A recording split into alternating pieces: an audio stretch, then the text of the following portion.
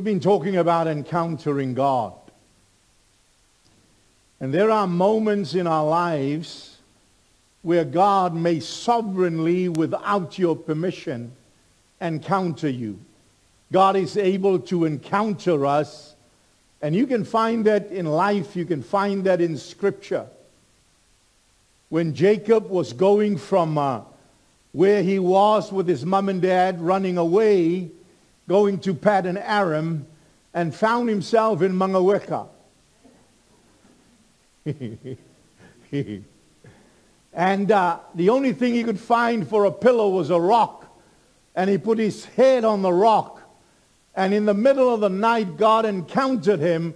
He saw a ladder that reached from earth to heaven, and angels were ascending and descending. And God spoke to him and gave him direction for his life. And then he promised God that if you will watch over me, I'm going to uh, give you tithes and offerings and going to give my life to you. And when he woke up, he anointed the rock that he used as a pillow. And he said, this is not Mangaweka. This is the house of God. This is the gates of heaven. The name of the place was Luz. And Luz means a place of desperation. A place of tremendous need.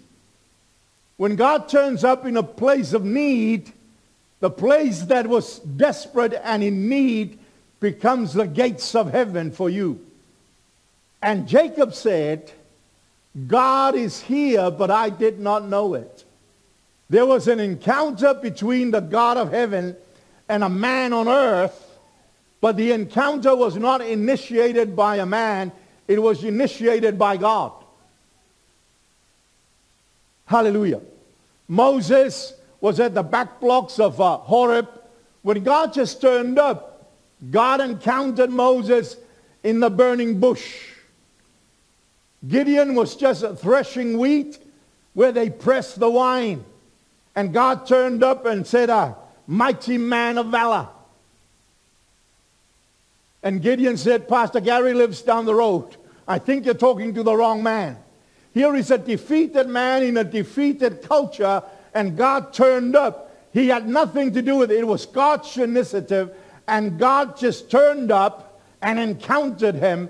And from there, you know the story where we had an army of 32,000, and God whittled down the army to 300 men.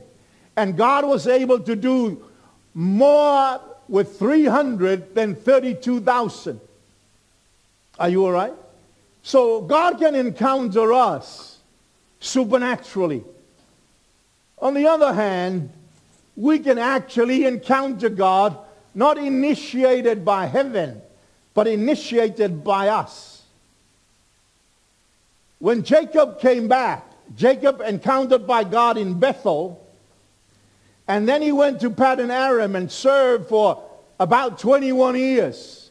Seven years for Leah and seven years for Rachel. And, and then he worked for his father-in-law for some six uh, years plus months. And then he left.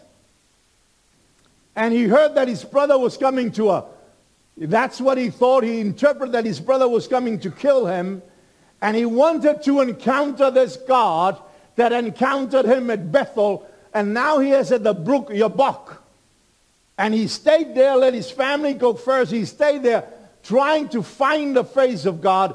And he encountered God. God turned up and he wrestled with God all night. And God said, let me go. It's daylight.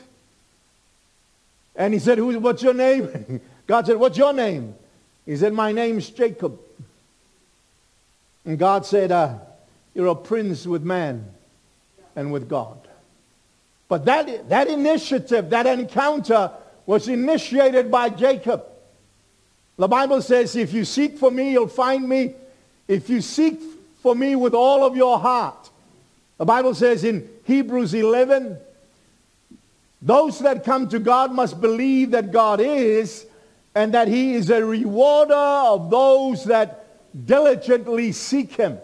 If you seek, you'll find. If you knock, you'll be open. If you ask, it will be given unto you. That's what the Bible says. So it's possible to initiate an encounter with God from us. Remember the late, great Derek Prince, great Bible teacher, a very, very, very sharp man, a very highly intellectual, uh, academic uh, man, academician. That's a big word for a Samoan, academician. And he was drafted to go into the war.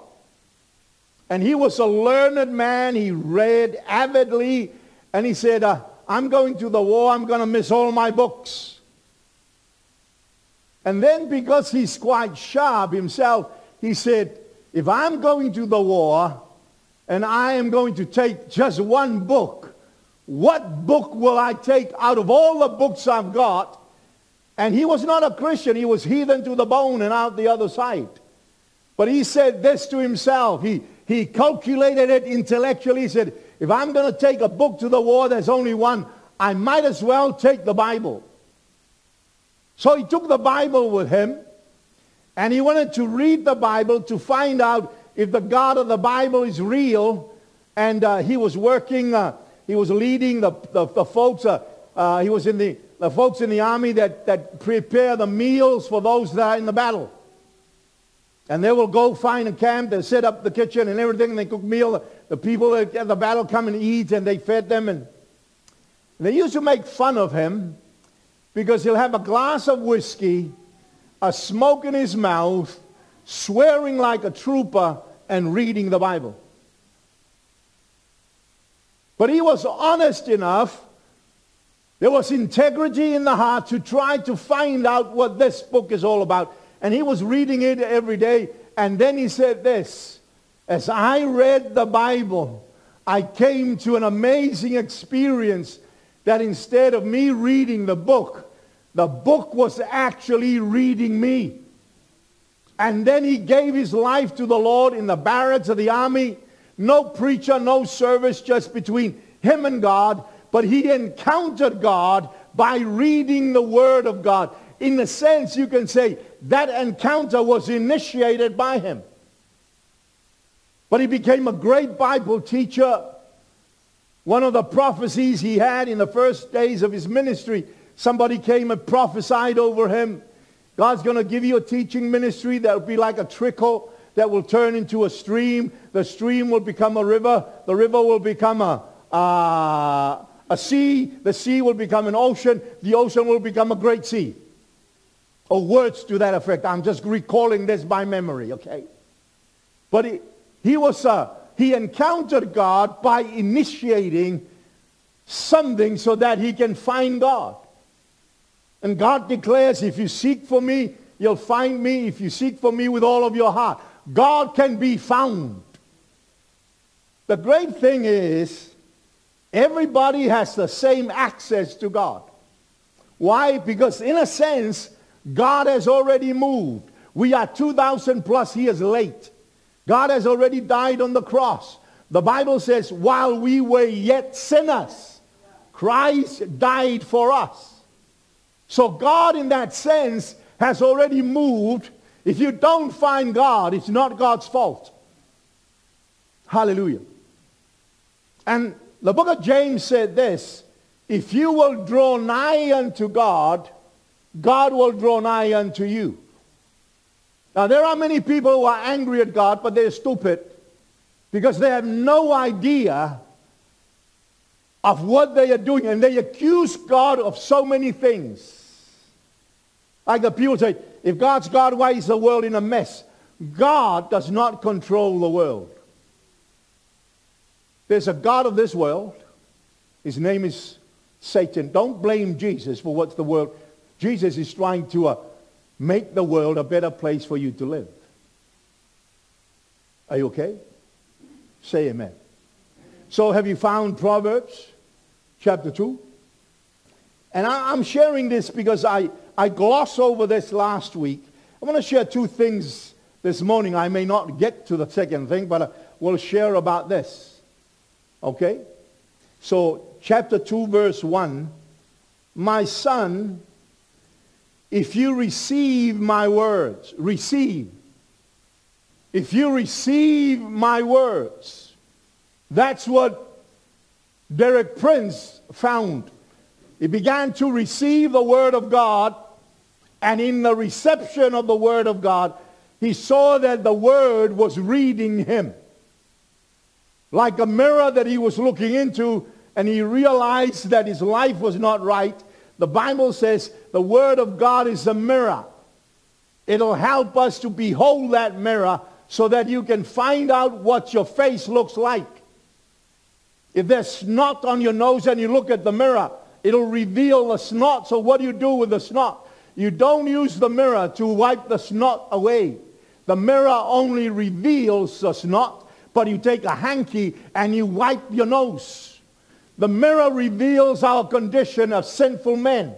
But the mirror can't cleanse the sin out of you. You have to go to the one who redeems us. His power and his blood can cleanse us from all sin. But the word of God reflects our condition. And the Bible says, if you receive my word, how many times do we come to church? How many times have we heard the word? How many times do you read the word? The Bible says, don't just read the word, receive the word. How do you receive the word? James tells us, receive with meekness. When we come to God, we receive the word of God with an attitude of meekness in our heart. The meek inherit the earth. And when you receive the word with meekness, the engrafted word that is able to save our souls, many of us will hear the word that, what was that? Yeah? We receive the word and not receive it. We re- reject the word because we think we know better than God. So the stream of the river of God's word is wanting to come into your life. The only problem is you've also got your own river. It's called marshland. The Samoan word is tofusi. So you got the river that Ezekiel saw, and everywhere it went, it went, the, life come along, uh, people can fish at the, the side of the river, and everywhere the river went, there's life. But there's a place that the river went to, and it didn't give life. Why? Because there was already muddy water, marshland that was there, and the river could not do anything because somebody's already got their own river. So you got two seas in, in, the, in the promised land, the, the, the Sea of Galilee and the Dead Sea. The other sea is full of life. The same place. It just flows from that sea to that sea. The Dead Sea. Everything that goes into the Dead Sea dies. And many people will blame God when they have their own marshland and God is trying to flow his river, but they don't want to empty their marshland so that the river of God can bring life. Are you all right? Not angry, just trying to make a point. But you have to receive the word with meekness, receiving the engrafted word with an attitude of meekness. You can't receive the word of God with pride. God resists the proud and gives grace to the humble. So the Bible says, if you receive my words and treasure, treasure, receive and treasure my commandments. What do you treasure? Hallelujah. What do you treasure? Do you treasure your job? Do you treasure your family? What's the treasures that you have in your home? Do you display your treasures? Many times we don't display our treasures. We hide them away for special occasions. Are you okay? You treasure my commands within you so that you incline your ear to my wisdom. You receive, you treasure, and you incline. I had one, one lady said to my wife, your husband is afraid of me. My wife said, how come? He's, she said, he can't look me in the face. He looks everywhere. I want you to know something. In the culture of the Samoans, you never look anybody in the eyeballs. You don't.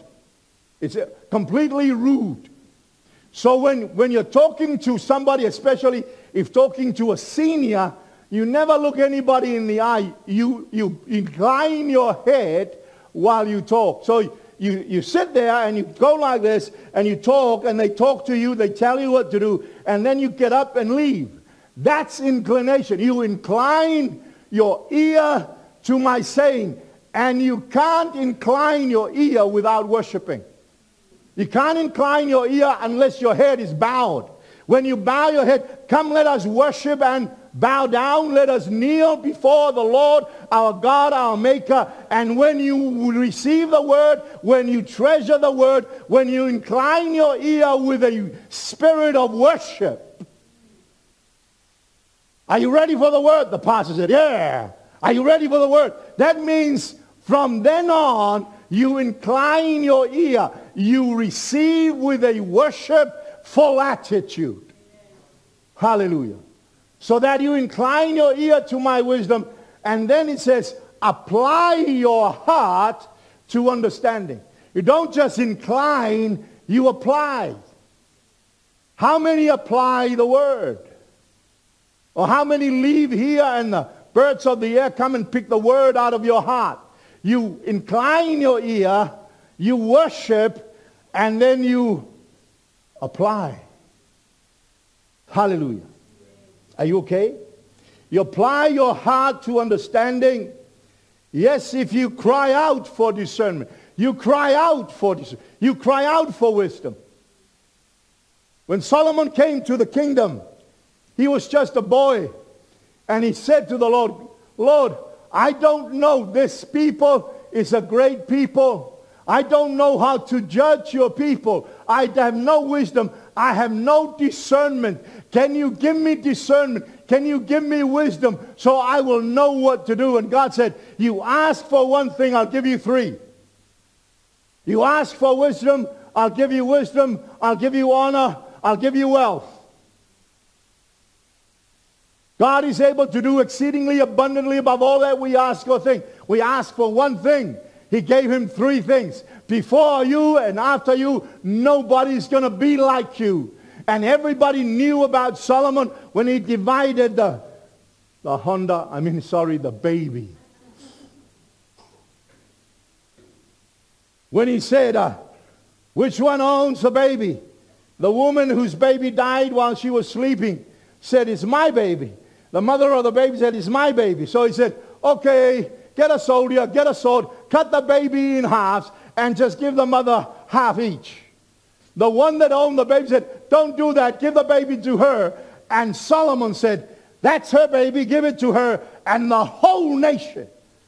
Why? Because God answered the prayer. He said, if you ask, I'll give it to you. If you knock, it'll be open. If you seek, you'll find. And the Everybody, not just the nation of Israel, but everybody at the time heard what the God of Abraham did for the king of Israel and what the king was able to do in cutting the baby into and everybody heard. Whoa. That was great. How can a Samoan do that? A Samoan's that wise. a Maori's that wise. Everybody has an equal opportunity to the wisdom of God, whether you're colored or not colored. And like we said, you know, if you're white, when in the sun, you're red. When you're cold, you're purple. And then you call me colored. I mean, you're every color of the rainbow when you call me colored. Give me a break. Hallelujah. Amen. Are you all right? Amen. He said, if, if you cry out for discernment and lift up your voice for understanding, you lift up your voice. Lift your voice. Cry out to God for discernment and lift your voice for understanding. Whose voice? Your voice. Whether it's a woman or man, regardless of what ethnicity you are, whether you're Filipino, Samoan, or European, South African, whatever, if you will lift your voice to God. If you're educated or not, a teacher or a dentist or a doctor, regardless of you, or retired, or housewife, or farmer, if you will lift your voice, everyone has the same access to God. Hallelujah. Lift your voice for understanding. If you seek for her as silver, you seek as silver. If you seek me with all of your heart, you seek for this wisdom, this as silver. You seek her as silver. You seek this fear of the Lord. Hallelujah. Are you okay? Is this all right? And search for her as for hidden treasure. When something is hidden, you know it's there, and you search for her. When you're an, an accountant, how many accountants here? No one. And you go through the balance sheet and there's something missing. It's not balanced. You go search for that transaction. And when you find that transaction, and I used to do that when I used to do stuff, and now I don't even know what they do in the accounting firms. They charge the planet. But I'll, I'll put a, a, a, the balance sheet and the thing will not be balanced. And then I'll go back through all the transactions and all the entries and you debit what comes in and you credit what goes out. Hello? And when you find it, it may be 42 cents. But when you find it, ooh, there's, there's a satisfaction inside that is unequal. It's like the day you gave your life to the Lord. Something happened. Heaven walked into your heart. Heaven now resides in you. Jesus Christ is now your Lord and Savior. And the day you got saved, the problem is you grow up and you forgot the day you got saved. Are you all right? You search for her as for hidden treasure. Hallelujah. You seek as silver and search for her as for hidden treasure. Then, the Bible says, then you will understand the fear of the Lord and find the knowledge of God. You will understand something. It's the fear of the Lord and you will find something. It's the knowledge of God. I'm getting somewhere. I'm just introducing the point. Hallelujah. For the Lord gives wisdom. For the Lord gives wisdom. Everybody say, for the Lord gives wisdom. It's not given by you. It's not given by your teacher. It's given by the Lord. The Lord gives wisdom. There is a natural wisdom. There is a demonic wisdom. And James talks about those two wisdoms. And many of us are flooded with demonic wisdom and natural wisdom of the planet. And the Bible says it's demonic, it's earthy, and many times bring division. That's not the wisdom that the Bible talks about. True wisdom is given by the Lord. The Lord gives wisdom. Hallelujah. For the Lord gives wisdom. From his mouth comes knowledge and understanding. He stores up sound wisdom for the upright. He is a shield to those who walk upright. Hallelujah. He stores up sound wisdom for the upright. He is a shield to those who walk righteously. Hallelujah. But he stores wisdom for you. He hides the wisdom, godly wisdom for you. He stores it up. You know when you got your favorite son, you got your favorite daughter, everybody gets something, but there's something special for that favorite one. How many are like that? Some of you are not honest enough. God is like that. He stores sound wisdom for the upright. He, he sets it aside. Fangangasua. Are you okay? That means fangangasua means uh, it's, it's, it's, it's here, it's set apart for somebody. God sets apart godly wisdom for you. And he will not reveal that to the whole world. That's just for his kids. Hallelujah. Are you okay? And says, when, when all this is done, you'll understand the fear of the Lord and the knowledge of God. So if you ever look at uh, Isaiah 33, we can start the message for today. All that was an introduction and catching up for some of us that weren't here on Sunday last week. And uh, so we start for today. And verse 5, Isaiah 33. The Lord is exalted, for he dwells on high. He has filled Zion with justice and righteousness, wisdom and knowledge. That's just what we talk about. He gives wisdom, you understand, and he gives knowledge. Wisdom and knowledge will be the stability of your times. What's going to keep you stable in the midst of COVID?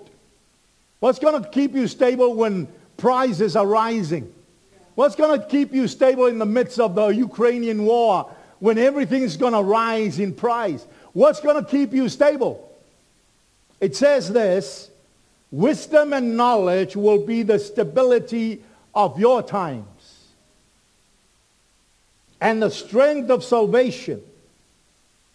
The strength of your salvation is in wisdom and knowledge. The fear of the Lord is his treasure. The fear of God is God's treasure. How do you get that? You get that from Proverbs chapter 2. How do you get the fear of God? Now let me say this, and we said this last week. What is treasure to God who knows all things and who owns all things? If you own everything in the planet, what will be your treasure of all the things you own? This God is the God of heaven and earth. Even though the world is not run by in that sense, that's not our message today. It's the God of this world. They're messing things up. But the God that we serve owns all things. God has not given the earth to the devil. The earth belongs to the Lord, and all the treasures of the earth belongs to Jesus Christ. And then the heavens, the heavens and the earth. God is in heaven and he does whatever he wants. But God will not do anything on earth unless he reveals his will to a prophet. Hallelujah. But what is treasure to God who owns all things? The Bible says God's treasure is the fear of the Lord. The difficulty I find today is many people profess Christians don't understand and don't even fear God. Now, how do you get the fear of God? We saw that in Proverbs chapter 2. If you'll cry out for discernment, if you incline your ear, if you receive my word, you'll understand the fear of the Lord and the knowledge of God. What is knowledge? The Bible says, my people are destroyed for lack of knowledge. And that's not just knowledge you get from school. You go to school to get that. And a lot of that is not even true. Uh, don't let me get on to that. Let me stay on course. The Bible says, my people are destroyed for lack of knowledge. It has to do with godly knowledge. How do you get godly knowledge? The same way you get godly wisdom. So if you ever look at Proverbs chapter 1. Hallelujah. Proverbs chapter 1 and verse, verse 7. The fear of the Lord is the beginning of knowledge. Knowledge and wisdom come the same way. The fear of the Lord is the beginning of godly knowledge. The fear of the Lord is the beginning of wisdom. Comes the same way. But the Bible says, my people, that is God's people, are destroyed because they lack knowledge. How do you get knowledge? Fear of the Lord. And because you reject knowledge, the Bible says, I will reject you from being a priest unto me and I will reject your children. Now, how many children today you find they, they, they're like vagabonds. They just go everywhere. They don't know where they're going. They have no direction. Why? Because I think they are rejected because their parents don't like the knowledge and the fear of God. They don't want to worship God. They would rather worship rugby and the All Blacks than worship the Savior.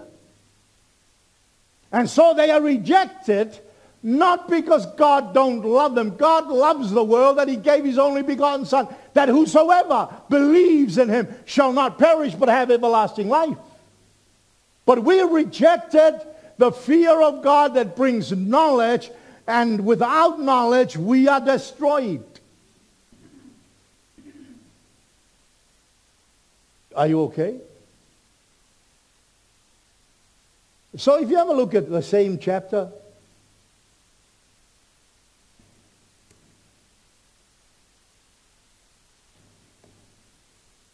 Let me read from verse 24.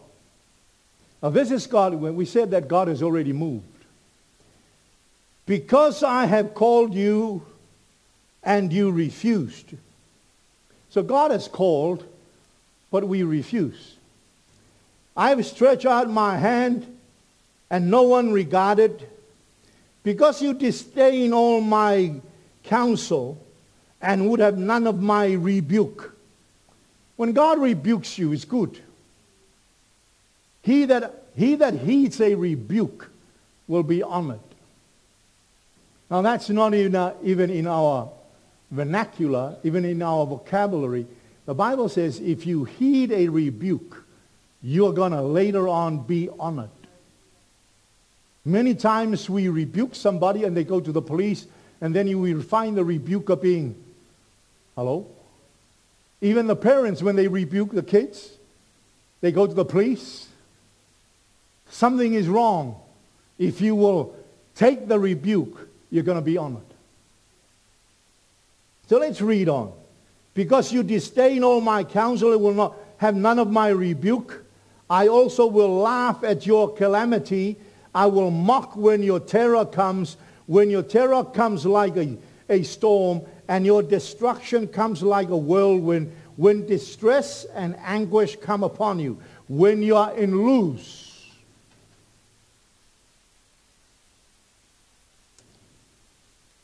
verse 28, they will call on me, but I will not answer. They will seek me diligently, but they will not find me. Remember what we said? If you seek for me diligently. If you search for me with all, you'll find me. He that comes to God must believe that he is and that he is a, a rewarder of those that diligently seek him. If you don't have the fear of God in your heart, you can seek God diligently and not find him.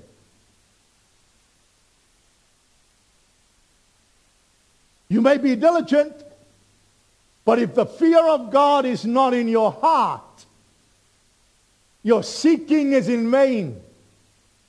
You build a house, but you build it in vain. You build a family, it's built in vain. You watch your family, you watch in vain. Why? There's no fear of God in your heart. And when you seek God diligently, you don't find him.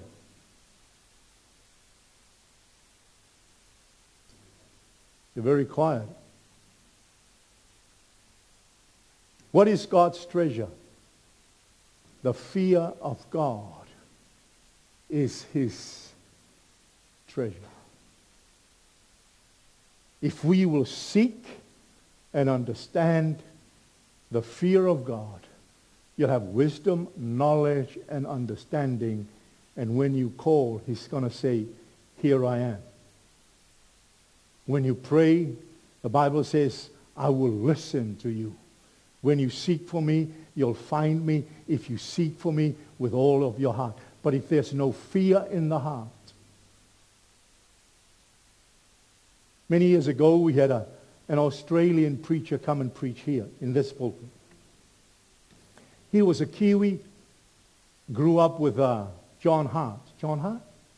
What, who was the, uh, the football coach? John Hart. Grew up with him. In, they were same classmates. So he came here and he preached from this pulpit. One of the young men that uh, he came to church and uh, the same pair of shorts. I think he was running around in the paddocks and he came with a, a singlet. And he came up to the front to, uh, think, I don't know who it was. It may have been Chris Alexander who asked some people to come and take up the, the offering. And he came up to the front with his pair of shorts and his singlet. And the guy that came from Australia said, young man, this is the house of God. Now, I'm not talking about clothing because somebody who's poor may not have anything but that kind of clothes. That boy was not poor. He was quite well off. But we get the idea that we can just do anything in the house of God because God looks at the heart. God looks at the heart, but where do men look? Outside. I can't see your heart. I can only see what's outside. I had a talk with a guy and, and he said, what's wrong with you? What, what are you looking at me like that? I said, no, it's, uh, I'm fine. He said, no, no, no, no, no. I said, well, you're a public figure. He said, yeah. How come when you come to church, you'll dress so well everywhere else, but when you come to church, you don't? I went to a wedding where you went, and I saw you in a tie and a suit. Now, I'm not saying that everybody should wear a tie and suit, please. That's not the point. I'm trying to illustrate the fear of God. And I said, I saw you in a suit, but you never worn anything remotely close to what you wore to the wedding in the church. He said, I, I see what you're saying. And today, there's very little fear of God in many facets and generations of the church. The Bible says, I think it's in Hebrews 12. I didn't look it up uh, during the break. But uh, it says, we've come to Mount Zion, the city of the living God, the heavenly Jerusalem. Hallelujah. You remember that? And the Bible says, we did not come to the mountain that burns with fire.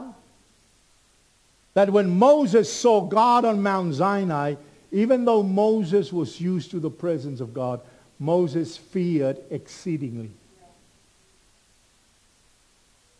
That's not the demonic fear the Bible talks about. God has not given us a spirit of fear, but a spirit of power and love and a sound mind. This is the awe and the honor and the respect that we have for God. Hallelujah. A lot of people say, what about the grace of God? Well, what about the grace of God? See, one of the most amazing thing ever written, which is so biblical, and so doctrinally correct is this. It's grace that taught my heart to fear and grace my fears relieved.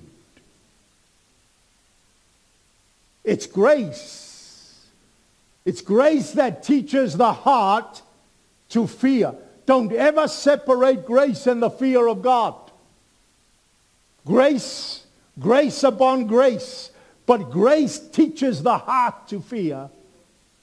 And grace brings relief from the fear of man and the fear of the world and the fear of the future and the fear of the demonic. Grace that taught my heart to fear and grace my fears relieve. How precious did that grace appear the hour I first believed. You can encounter God. You can encounter God in the car. You can encounter God mowing the lawn. The guy that started a full gospel businessmen's fellowship in New Zealand, not sure if he's still alive or not. He said, uh, I, I encounter God when I mow the lawn. He has the cleanest lawn in Takapuna. He that dwelleth in the secret place of the Most High shall abide under the shadow of the Almighty. What's your secret between you and God? My wife encounters God in the shower. She's the cleanest human being I know. My nephews come for a holiday from the school holidays, and they were talking to one another. I said, you know, Auntie, she has four showers every day. Four showers. Those boys don't even have a shower every four days, but their auntie has four showers every day. She encounters God when she's having a shower. I encounter God when I eat and when I drive and when I sleep. When I want to hear from God, I either drive, eat, or sleep. If you come to my house and you talk to me and I go to sleep, I'm trying to encounter God. I'm not rude to you. I'm just trying to encounter God, okay? Hallelujah. Praise the Lord. But God is available to all of us. But are you willing to receive his word? Is your ear open and inclined to what he's trying to say to you? Hallelujah. Is your voice lifted up to him? Is your heart lifted up to him? If you're here this morning, you never made Christ the Lord of your life. God wants to encounter you. Are you willing for the encounter? Because when God encounters you, everything makes sense. It'll be terrible if you come to church and you die, go to hell on roller skates. Talking to an elderly man I led to the Lord. And he said to me, thank you very much for showing me the way of salvation. I said, praise God. He's dying now. He probably will be gone within a month.